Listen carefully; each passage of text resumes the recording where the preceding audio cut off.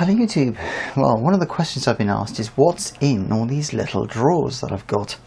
So I thought I'd widen it and take you to the whole electrical area. Sat here for a while has been the humidifier, and while that's been there, this has sort of turned into a bit of a dumping ground. Um, right, pièce de résistance is uh, this uh, close-up lamp. It's not expensive, it's quite cheap, but I replaced the bulb with an LED version. Not only is it low voltage, uh, low wattage, sorry, but it's also cool. So when you're working up close, and this is right over your hands, it's nice and cool. It doesn't burn you. So let's swing that out of the way and hope that it doesn't collapse, uh, because the weight of it is a bit awkward. Right. We have off to the left that you can't see in this area a fan. And there's my aerial for the uh, TV over there. And the cables run back there so I've got to be a bit careful with heat. But um, here we have the usual soldering iron and uh, some crap that I can probably uh, sort out later. Some bags. I do I do have a habit of keeping hold of bags of bits and pieces. Uh, what's that? Contents? Brr, fasteners. Um, hmm Okay, I'll work out what that is at a later date. Um, but yeah, gas for the lighter, etc. etc. We have batteries, sort of get here. This is the demo hard drive that I use to show people uh, what's inside a hard drive, because many of them don't realize why hard drives fail. And what they're dealing with is a very fast rotating platter with heads which are hideously close to the hard drive surface. And people just don't understand the mechanics. When I show them this, then they start to get an idea of why hard drives fail. So that's around here. Batteries gravitate here because the battery storage is in here. Tools, various bits and pieces, pliers, wire uh, strippers, things like that. My main uh, multimeter, digital, won't fit in any of the drawers, so that stays out usually. Uh, okay, I've wrapped that a bit too tight. Um, other tools are, there's other screwdrivers, security bit set is here, um, some other chips that I won in an eBay auction, project box, small, um, some ribbon cable that won't fit in any drawers, um, also some uh, diamond uh, files for filing down, uh, what do I use those for? Uh, for filing down bits and pieces, um, but you've got to clean them after use. Um, and that is a project board so you can plug things in and test things yada yada. On the right we have the usual which is a pot of uh, screwdrivers, uh, Allen keys, stuff like that, major stuff for the for the more case work, some solder suckers, uh, some wire. Uh, this is Kynar, you know, you use on motherboards, that sort of thing, and there's some cotton buds up there as well. So the general stuff isn't too bad. Super speed solder, solder, which again won't fit in any of these, so that stays out usually. Uh, what else we got here? Some garbage. Uh, ah, there are some receivers for my uh, flash guns, so I've got to sort those out at some point. Um, a little helping hands that you might have seen, uh, which consists of. Uh, uh, I use the helping hands, the crocodile clips part, rather than the magnifier because I got the big magnifier for that. So, uh, and yes, a pipe wrench, uh, as some people know it. uh, very useful for putting even pressure on wide joints. Uh, I found it very useful for that. Uh, so when I'm put dealing with chips and I want them to go in straight or stuff like that, I'll use that. And there's some paper clips in there that are bent out because I use them for prodding things. Uh, bits and pieces, that's pretty much around there, dealt with, there's all sorts of bits and pieces. Another, that's a VGA to DVI connector, it doesn't convert, just connects. So we have things like pearl catchers, um, uh, various types of uh, tweezers, but one, various different types. There's a group of them down there. Um, okay, to come to the drawers themselves, uh, just try and move this a bit further without whacking anything. Right, bank on the left. Now the, the trick is a lot of this stuff is a case of keeping things tidy, so they're not always um, electrical or that sort of thing, but these units are pretty expensive in themselves in order just to keep stuff tidy. So it was uh, a bit of an expense. Drawer number one at the top, what do we have? Ah, these are bulbs for the 500 watt floodlight. uh, that's outside. Drawer number two, various bits and pieces for the uh, turntable that I haven't really got anymore. You know, um, that's to convert uh, American singles to the British or European uh, spindle, stuff like that. Uh, we have the old light uh, out of out of the um, out of this magnifying unit that replaced um, I won't get these out too far, but they're rubber uh, rubber balloons. Very useful for teaching people about electrostatic. Uh, you can just blow them up, uh, put some static on them, put them next to running water, and it'll show you, and people can see the running water being pulled to one side by the static. Then they have a bit of more respect. Some lanyards. Uh, these are the second pack of glue gun uh, glue uh, a load of jeweler's screwdrivers and uh, Allen keys. Uh, they're kept there. there are some more jeweler's screwdrivers elsewhere. A little bit of ribbon cable, standoff screws uh, for motherboards, um, and also other unsorted for cases and things. Uh, various feet, uh, some knobs. that contains actual ribbon cable connectors. Uh, so you can just connect those onto the end of ribbon cables for various sizes. There's a couple of different sizes in there. Um, there's a bank here for memory cards. These contain SD and um, which is standard SDHC sort of things, and also the MMC versions. Like the MMC versions are used in some of the BBCs. Um, uh, what is this one? This one is really wacko. Ah, that's an adapter. That's an MMC card that's in an adapter. Uh, MMC and uh, SD are not uh, easily compatible, although they're pretty much the same format. But I bought a couple of uh, MMCs as spares. These are the larger SSD cases, which are empty, uh, so can, I can just put cards in there. There's nothing special. Uh, we have some D-types, D-type connectors. Again, nothing special. Some rescued, some new. DIN connectors. Now the DIN connectors are very useful in some cases, especially these, uh, which are used again for the BBC uh, because they are the, um, the type for the RGB connector on the back. Uh, we have some BNC connectors, again for the BBC, uh, because the ones that came, uh, usually these are pretty much the first thing to go rusty on the back of a BBC, so those get replaced. Um, we have some micro mini switches. Uh, these aren't very uh, small. These are for the arcade versions. Uh, so the button, uh, arcade buttons go on there, and there are some really, really very, very small ones. Um, they are absolutely tiny micro switches, and those are used in the Xbox controller to be able to hook it up to the BBC. Uh, not a very good gaming action, but they work. These are um, various uh, connectors uh, for motherboards, you know, the usual kind of thing. That's that kind of thing. I just cut them off and uh, keep them, store them in case I need them. I do use them every now and then. I don't store too much of this stuff, otherwise I'd be hoarding. Um, fuses, general household fuses, uh, CR batteries, which are the, basically the flat type of batteries that you find on motherboards, that sort of thing. Generally, um, those are used as spares because the motherboards do um, come out every time. CR44s, uh, these I got in bulk because they're used for the microphone that I'm talking to you on now. It's an active microphone so it needs power. Uh, these are just some tools for uh, hand, uh, hand, uh, hand tools for drilling uh, delicate holes in motherboards. That's what they're used for.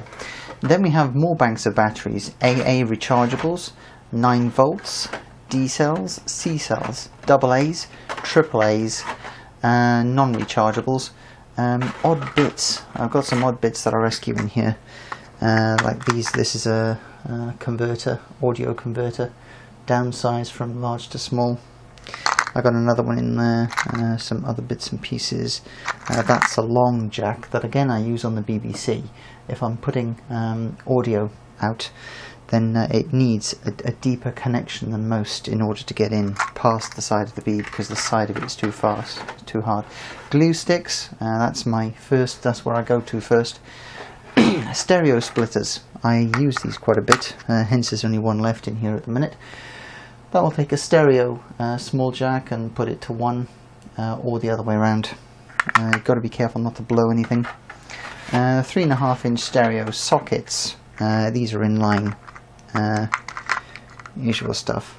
Inline stereo sockets, jacks, small. Three and a half inch, three and a half stereo plugs, mils. The other sides for the sockets. Straightforward.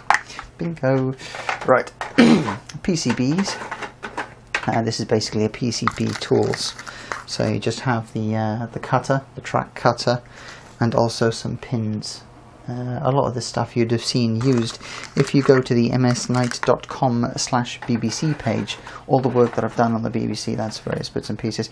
We have some diodes in here. This is a pack of um, 100 volts, 200 milliamp uh, I don't actually use very much of these. Um, I only buy what I need. I'm, I'm not an electronic hoarder. I just get what I need to get the job done, basically, because I don't do that much. Uh, we have mono splitters. Don't use that many of those. but yeah, those will split a mono signal. Um, I do use uh, quite a few of those. And also the mono sockets and mono plugs, again, in line. Oh no, these are actually on board. These are actually uh, mount. And these were actually used on the uh, plug board for the BBC. And uh, mono plugs. Solder, various solder of a number of different types, as you probably know. Uh, lead solder is great. That new one where they put the silver in is absolutely lousy. Great if you're doing one job, but if you need to redo it and maintain it, forget it. Stick with the lead. Capacitors, various types, various sizes. Um, 2200 microfarad 10 volt 100 nanofarad 50 volt 1000 picofarad 25 volt you know various different cap capacitors in there. Uh, again various resistors this time all sorts of different types. Uh, but one 1 kilo ohm 10 ohm you know 100 ohm quarter watt 10 kilo ohm half watt you know they're pretty much all labeled uh, that's needed and all various chips are in the bottom drawer. Now this is going to be a bit of a pain to get out, but there's all sorts of different spare chips uh, that are used for the BBC, and there's also a keyboard, spare keyboard connector in there as well. But uh, mostly that's the spare chippery. right, come along to the other side. I'll clear this out a bit and uh, turn this one round uh, a little. Not very much you know, they could do with making some cheaper versions of these, really, uh, just for general household storage. I reckon these these storage units are a bit highly priced. Um, this this is larger drawers. Um, uh, am I going to be able to turn it? Not very much. Okay, uh, larger drawers in here. I think you can see it side on, so you can get a bit of a feel. Top, we have some mains to USB power converters, so I can just go along to a hotel and uh, power a USB device from there. I have two of those. Um, StarTech.com. Ah, these are very useful.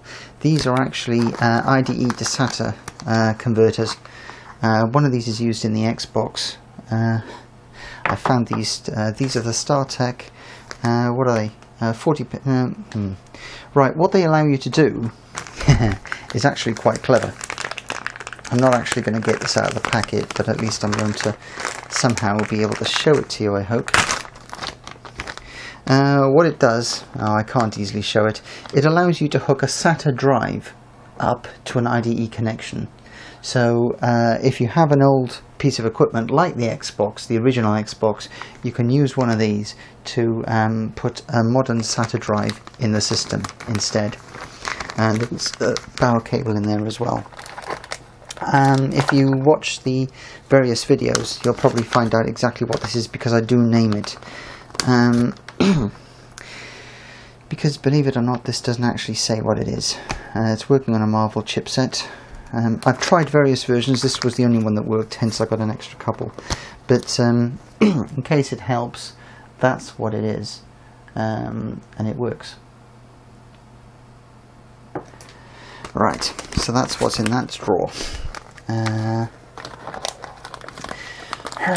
where where are we? We're 14 minutes, coming up to 15 minutes, so I don't want to uh, hang around top right we have um, a USB wireless mouse. Now cheap from China, it works. I have a couple of these. Um, in the base is a USB receiver. This is powered by the USB and you put a standard uh, AA battery in here. Um, there is a power switch. I don't think there's a battery in here. I try and take the batteries out where I can. Yeah, there's no battery in here to prevent them from corroding, leaking and all the rest of it. But it's quite good. Works with most standard devices, um, with most standard PCs uh, of all operating systems. Pretty good for the money. Uh, you can just take it on travel and uh, works quite well. And one of the reasons why I do like the optical mice over the traditional ball mice is because the optics work on pretty much any surface, as long as it's not uh, one of the shiny surfaces. There you go. Uh, this is actually um, SSD to SATA. That's what's contained in these. Um, you can hook, uh, you can put an SSD card in, and it will hook up to a SATA connection. Um, I got a few different uh, ones of these models. I also have SATA to IDE but um, I had problems booting from this. What I wanted to do is was with the low power computing to try and build a server that would run off two of these and so you could just put two cards in and just run an operating system off a 16 gig card which is perfectly uh, feasible for Linux with no problem whatsoever but I had problems with the boot. Oh we have an empty drawer there. This is my collection of memory sticks. Um, I typically don't throw them out so there's all sorts of sizes in there. Uh, labels, uh, um, the smaller ones I'm intending to use in the future for in-car audio when it eventually comes out. This is some bag storage, uh, general bags, so I'll have to squeeze those up and put those in, the ones earlier.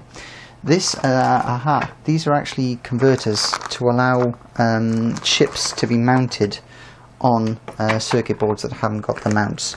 So in other words, uh, you solder the mount onto the motherboard, then you can put the chips in them a lot easier. It saves having to solder and desolder the chips all the time. Um, right. Then we have uh, an, a collection of various LEDs, some of which are on cables for motherboard mounting, some aren't. uh, we have um, various resistors.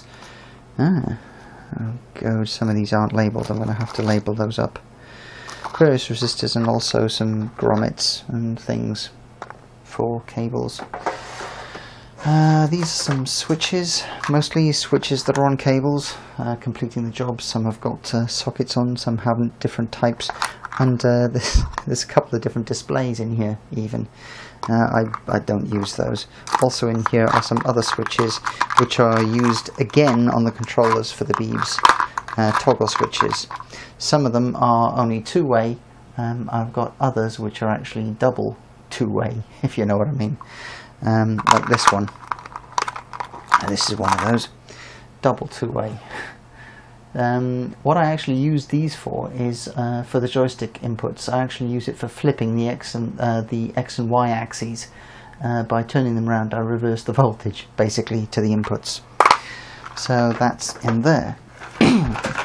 in here we have a mains plug and some audio cable. Okay, it was obviously something that uh, I needed to put somewhere and didn't have anywhere to put put it. Coming down we have another multimeter. Uh, that's one of my favourites and there's another multimeter in here, just jumping ahead. Here we have some uh, cleaning fluid, uh, some tape, uh, electrical tape and some super glue. Uh, that's where I put it. Shouldn't normally live there, but what the heck. And another collection of the red handled um, uh, jeweler screwdrivers and some more Allen keys. That's what's in there. This device, uh, the X-Link, this is actually for talking to the uh, unit on the Beeb and also a few other things.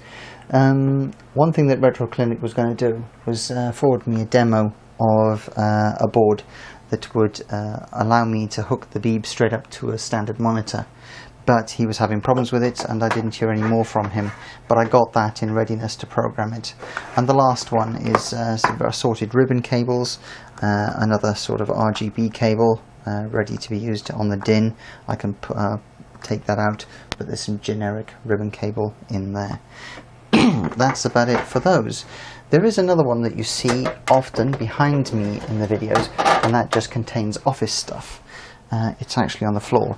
It's four units uh, which I uh, ooh, Heath Robinson together to make one larger unit. Uh, they were reasonably cheap. I'm always on the on the lookout for reasonable cost. Uh, this one uh, contains a battery tester, uh, standard, some bulldog clips, uh, my little driver hire, uh, approved driver badge, generic labels go in here, easy to label something. These are great. if I want to write an address on a parcel, I can just unrip this off, stick it on, put the paper on, rip that, and it's done. it's, uh, so I don't have to mess around uh, taking any old labels off. We have two which are empty, another one which contains uh, micro, some micro hard drives and some interfaces uh, to turn those drives and connect them up to standard SATA. It's used mostly for rescue work. There's two different units in there. Empty uh, labels. Uh, these are useful. Uh, round labels so that when you punch holes in paper they reinforce the holes. Um, tag labels, not that I use any really. For the filing cabinet uh, I have those so they go on so I can label the things in the filing cabinet and some uh, filing clips so if I want to just hold papers together I can do. Yeah I know I'm a mini, mini office supply here. Uh, we have some uh, paper clips, uh, some uh, treasury, tags, drawing pins, and these fasteners. These are really old. I've forgotten where I got these from, but the paper paper fasteners. One gross. How's that for old? one gross of paper fasteners, and uh, I, I, don't know what. Oh yeah, uh, they're the standard type. You put them through, and then you uh, you turn out the wings, and uh, it fastens the paper that way. Uh, where did I get those from? I can't remember. So long ago. Then we have my supply of staples. um, I've been using staples, staple guns for quite some time, so I've got a collection. Uh, there's number 24-6, number 50s, uh, mostly standard. I think I've got rid of the non-standard ones these days. Uh, done a lot of that stuff. Uh, my cross uh, refills and some other non-cross uh, fountain pen refills. Uh, spare keys in there.